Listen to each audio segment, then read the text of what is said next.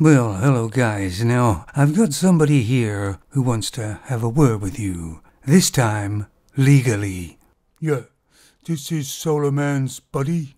Well, I hope I still am his buddy.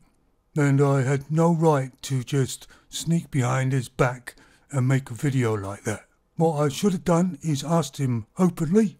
That's what I didn't do right. I took it upon myself, and it was wrong. Very wrong.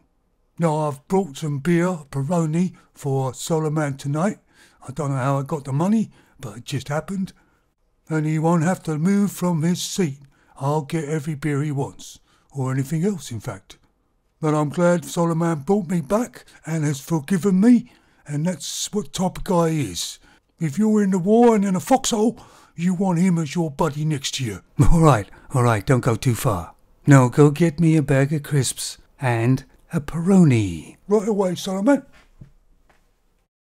You see, some people just need pointing in the right direction. But you see, that's the way I've always been in my life. I always give a person one chance. Well, maybe two chances if they bring Peroni with them. anyway, you take it easy, guys.